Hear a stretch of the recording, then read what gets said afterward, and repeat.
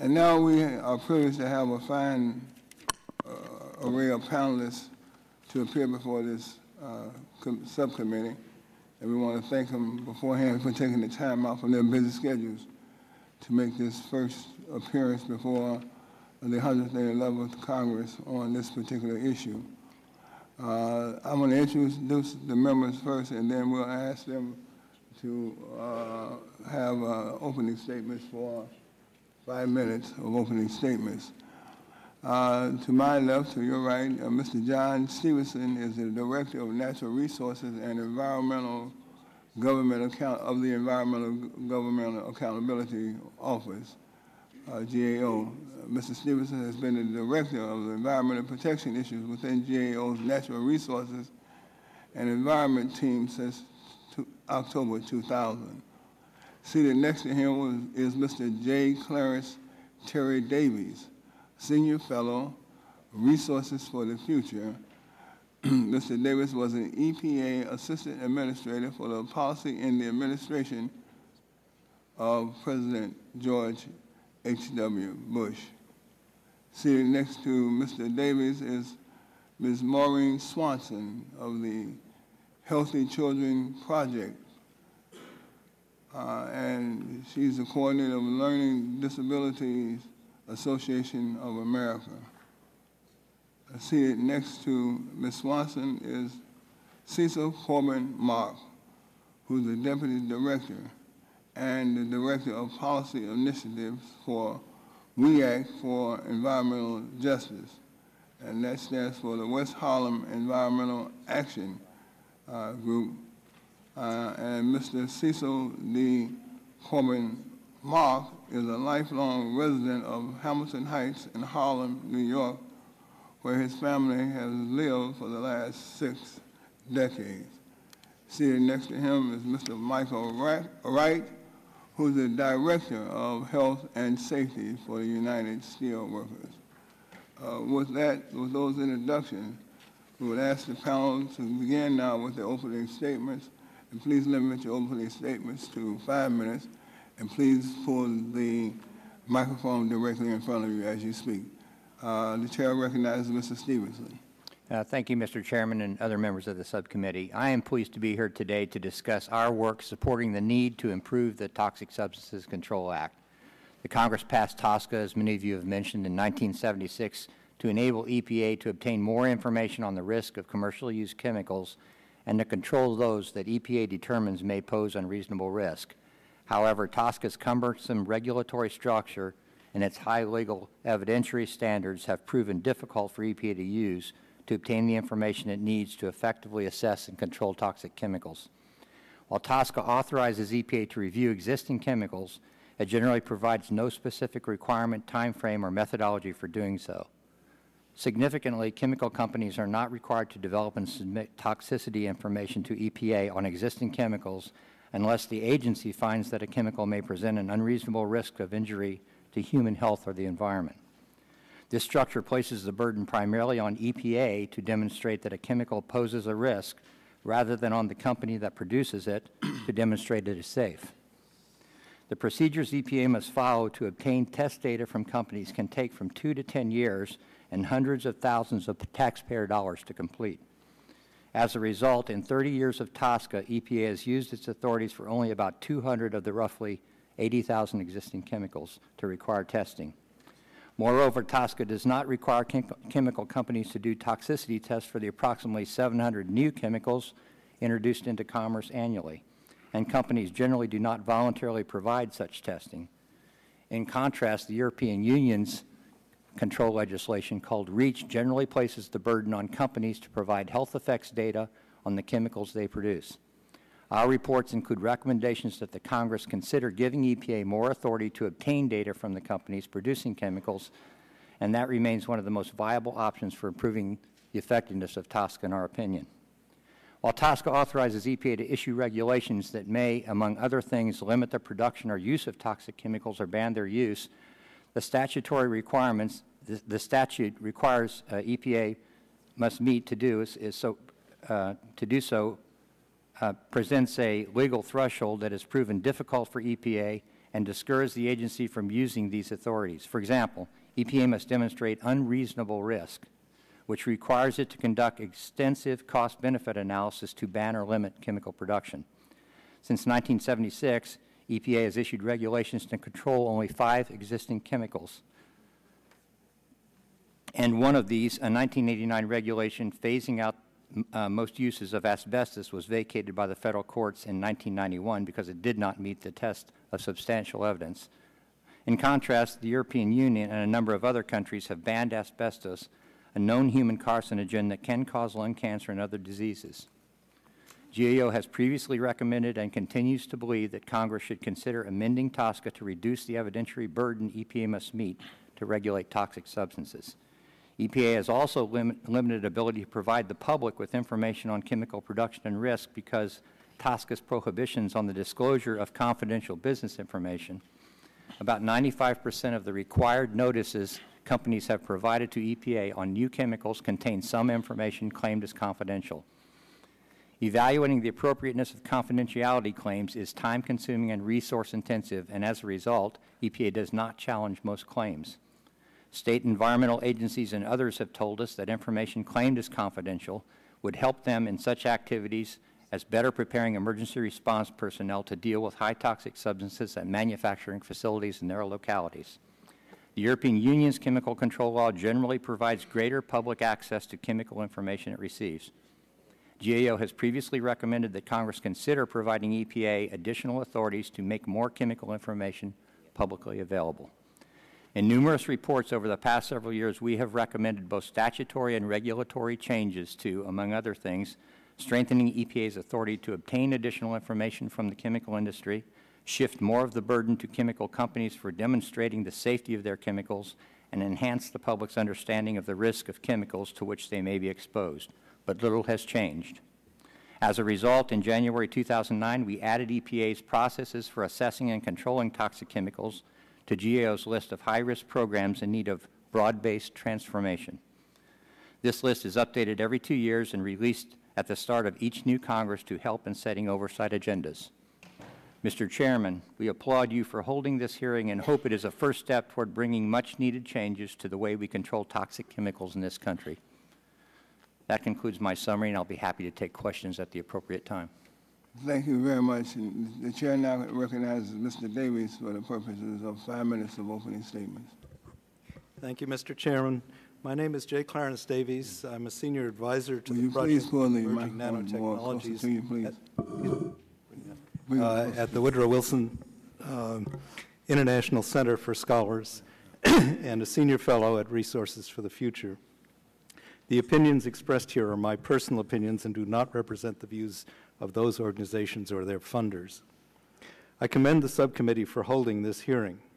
The committee's focus on TSCA is timely because of changes taking place both at the state level and internationally. States are increasingly taking the initiative to deal with toxics. Internationally, the European Union's launch of the REACH directive has radically changed the requirements for marketing chemicals in Europe. The huge impact of technologies that were unknown when TSCA was enacted adds to the importance of reviewing TSCA now. I have followed TSCA from its inception. In 1969, I wrote a book which called for a law regulating new chemicals, and in 1970, I wrote the original version of what became TSCA. In the past several years, I have written three reports on oversight of nanotechnology. Each of them is relevant to the subject of this hearing, and I would like permission to submit them for the record. So granted. Thank you. Before dealing with TSCA's weaknesses, let me note some of its strengths. First is the broadness and potential flexibility of the law. Its coverage is not limited to any one part of the environment, a definite asset because most chemicals are not limited to air or water or land. um, TSCA also allows EPA to choose among a broad range of measures to control chemical risks. Another strength is, is TSCA's reporting mechanisms. Section 8E, which requires manufacturers to immediately notify EPA of new risk information, is particularly important. I believe that the general cost-benefit framework of TSCA needs to be preserved. The law deals with products, not with pollutants. Commercial products, by definition, have benefits, so limiting their use or banning them to prevent adverse effects almost always has costs. This fact makes an absolute safety standard unwise because the government would be forced to ban chemicals that do more good than harm. Many of the good things in TSCA are undermined by the procedural landmines in the Act. The Act contains difficult, perhaps impossible requirements that must be met before a chemical can be regulated. For example, EPA must show that the regulation is less burdensome than any alternative. All the requirements must be supported by substantial evidence in the rulemaking record, an extraordinarily high legal criterion. These provisions make it practically impossible for EPA to regulate existing chemicals.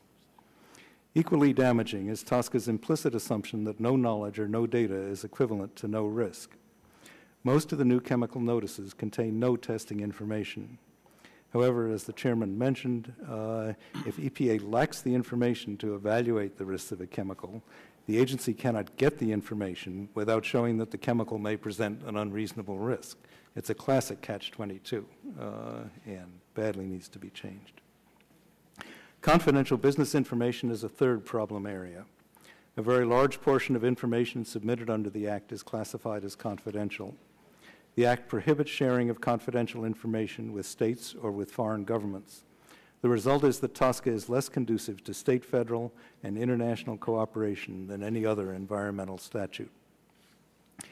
EPA estimates that it received notice of about 50 nanomaterials under TSCA's new chemical provisions. Because TSCA defines a chemical only by its molecular structure and does not consider size, many, perhaps most nanomaterials are considered existing chemicals, not new ones. This is important because the TSCA provisions relating to existing chemicals have mostly been rendered inoperative.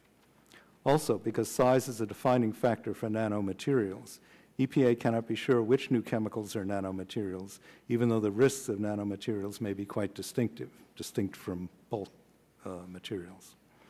There is a general issue of the capability of the existing regulatory systems to deal with the new technologies that are emerging at an accelerating pace.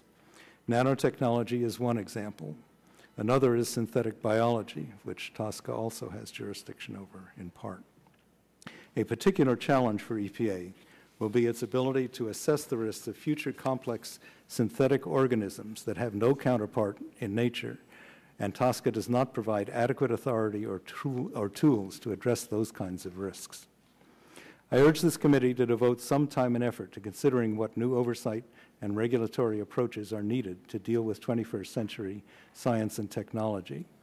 Considering TSCA's effectiveness is a step in the right direction, but over the long run, we are going to need whole new approaches to deal with the new technologies. Thank you.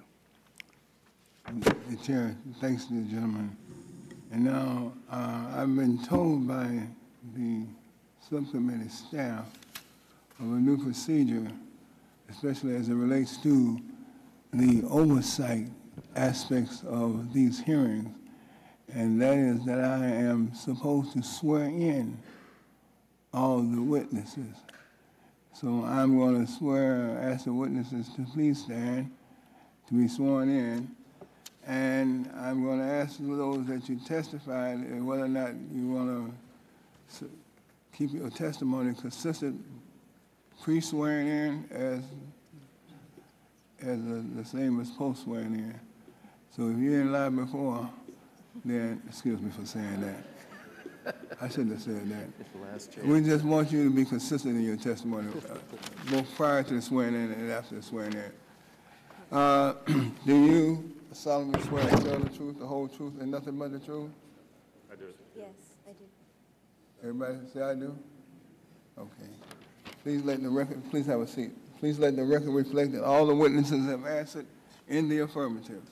And now our next witness will be Mrs. Swanson for the purposes of opening statement. Thank you, Mr. Chairman and Ranking Member Radanovich.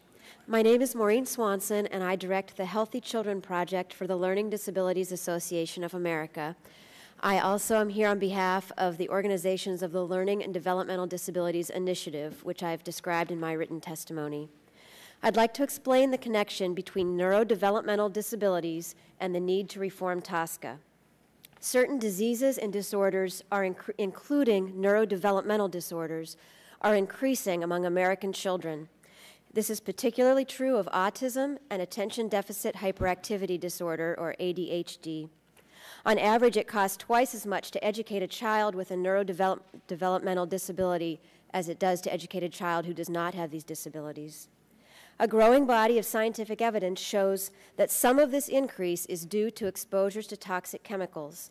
Most recently, a study, uh, researchers at the University of California found that a large portion of the increase in the state's autism cases is most likely due to toxic chemical exposures. Children are especially vulnerable to toxic chemicals. Uh, relative to, their, to adults, children eat more, drink more, and breathe more. They spend a lot of time on the ground and they put things in their mouths. From conception to early childhood is a time of rapid brain development, uh, a time when even a tiny dose of a toxic chemical can cause neurological problems that last a lifetime. Of the 80,000 chemicals registered under TSCA, about 3,000 are produced at more than a million pounds a year. Of these 3,000 chemicals, we know for certain that 10 are neurotoxins. They affect brain development. We have good evidence that another 200 are neurotoxins, but we don't have better information or more information because there is no requirement under TSCA to test chemicals for, for effects on brain development. Isn't it right for parents to assume that the government will protect their children from toxic chemical exposures? When I talk to people and they find out that the vast majority of chemicals uh, used in products are not tested for health effects, first they are dumbfounded and then they are outraged. I share that outrage. Uh, as the mother of a two year old and a four year old, uh, I know how hard it is to figure out which shampoos and sippy cups and toys are safest for my kids.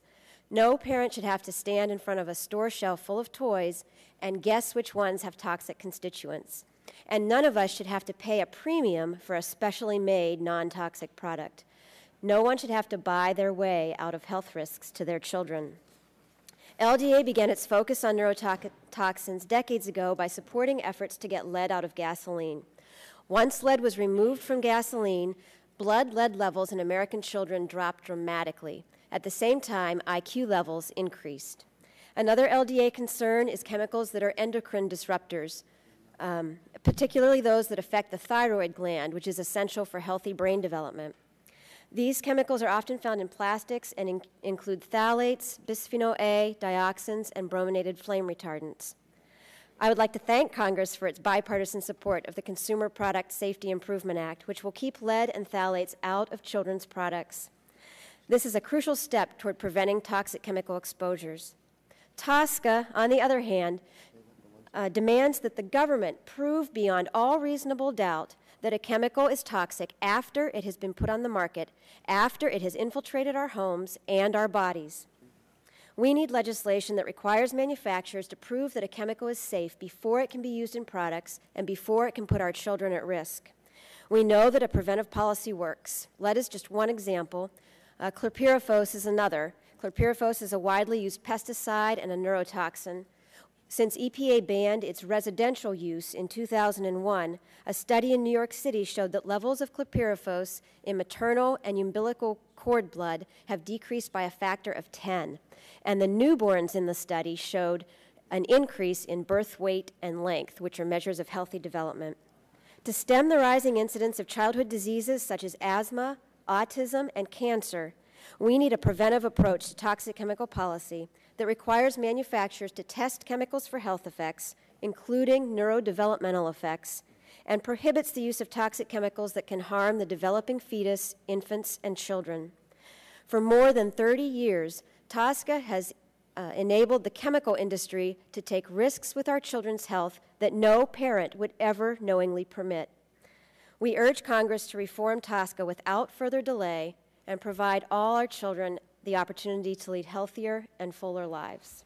Thank you. Thank you.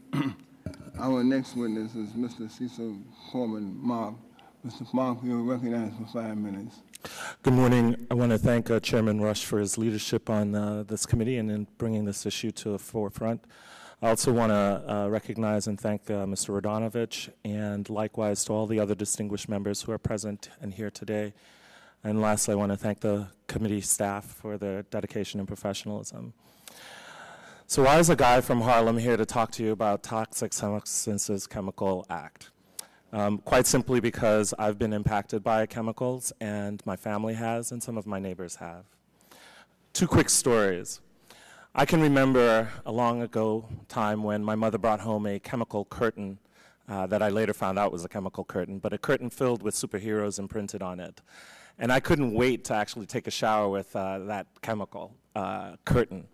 I wanted to be in that shower uh, because I thought the superheroes would transfer their powers to me and I could join their ranks. Instead, what happened was I came out dizzy, uh, unsure of what was happening, and filled with a really piercing headache. The next story is about my son, pride and joy of my life. I'm a doting dad, and my son is in school in New York City and is playing on a basketball team. I'm across the country at a conference in San Francisco, and his mom calls to say that they've had to rush him to the hospital for an asthma attack at a visiting school. In talking to him later that day, I asked him, What do you remember? What happened? How did this happen?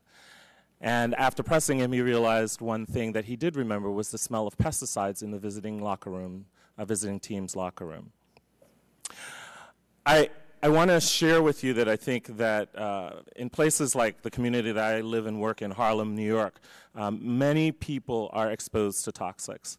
I live in, uh, as I said, Harlem, and it's a community of seven and 7.4 square miles, and is home to more than 650,000, mostly low and middle income African Americans and Latinos.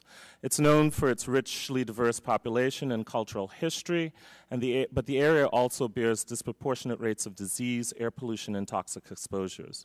Northern Manhattan leads the nation in asthma hospitalizations, low birth weight, and lead poisoning, to name a few, and diabetes and obesity are also raging epidemics in our communities. High levels of public assistance in our neighborhoods are a part of the fabric, and residents often don't have health insurance. And while downtown Manhattan may be known for Broadway, the Empire State Building, the Statue of Liberty, and other iconic landmarks, uptown our neighborhoods have auto body shops, dry cleaners, co-located with residential apartments, diesel bus depots across the street from parks and bedroom windows and likewise nail salons and dollar stores with many products that contain ingredients capable of disrupting a woman or a man's reproductive system uh, abound in northern Manhattan. While I'm describing my hometown, I could be talking about any place in Texas, Michigan, Louisiana, Ohio, Georgia, you name the state. And you might conclude that because these facilities or stores are located in our uh, neighborhoods that uh, we not, that doesn't necessarily mean that we might be impacted by chemicals, but I assure you, you could be wrong. I want to just point out a couple of studies. One of them from the New York Research Public Interest Group that a couple of years ago, done a couple of years ago, that documented while upstate is the major agricultural production area for New York State, it's in New York City that the greatest tons of poundage of pesticides are actually used. And they're applied to public buildings like schools or hospitals. Another one, the New York State Department of Health conducted a study in East Harlem and found high levels of PERC in apartments where dry cleaners were co-located. PERC is a volatile organic compound with many health effects that moves easily through walls and easily enters the bloodstream. The Columbia Mailman School of Children's Environmental Health Center that we co-partner with uh, conducted studies that looked at 700 mother-children peers and examined dust samples in their homes and found high levels of pesticides like chlorpyrifos and diazinon, which transfer readily to the fetus. And these were found to reduce birth weight by an average of 6.6 ounces. And furthermore, high prenatal exposure to pesticides like chlorpyrifos was found to be associated with psychomotor, uh, cognitive delay, and attentional disorders at age three. Early findings from another study projected that the same cohort uh, is indicating dibutyl phthalate, is commonly found in perfumes, is staying in mothers' bodies longer than thought. Toxic chemicals don't belong in people.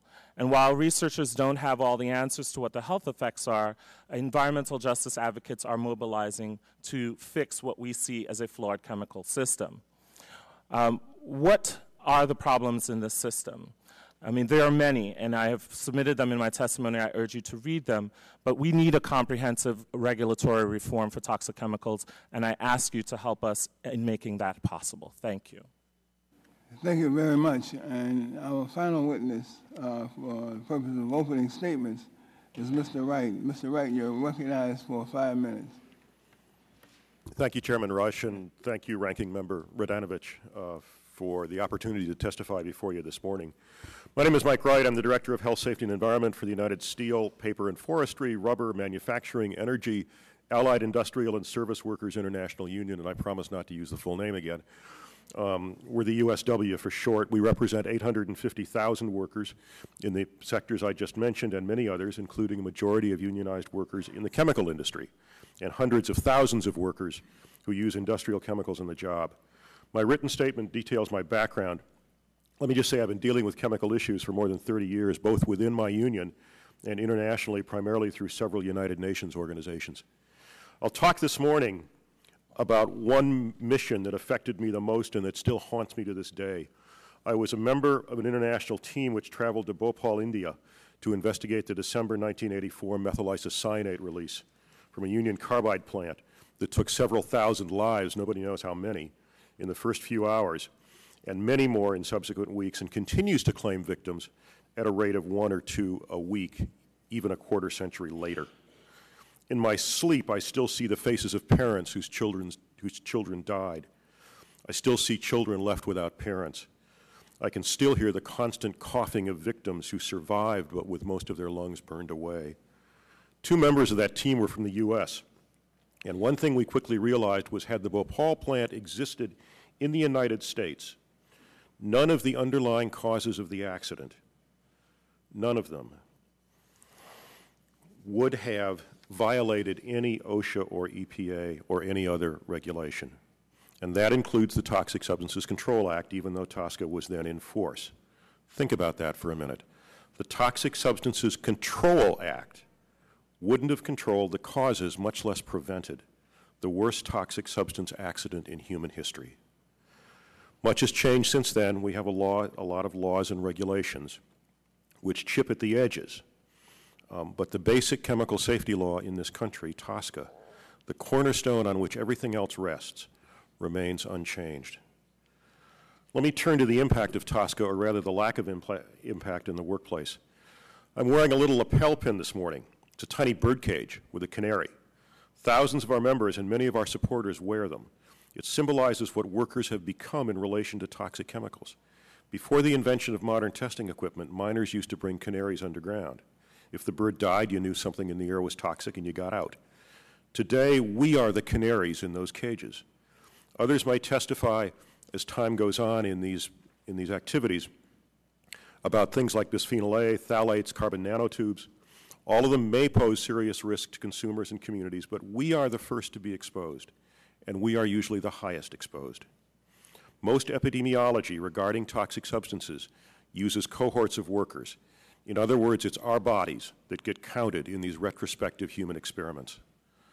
My colleagues and I in the USW's Health, Safety, and Environment Department visit several hundred workplaces a year in all manner of industries. Collectively, we have a lot of experience with chemicals and chemical hazards, so our members depend on us to say whether what they're working with is safe. Too often, we don't have a clue.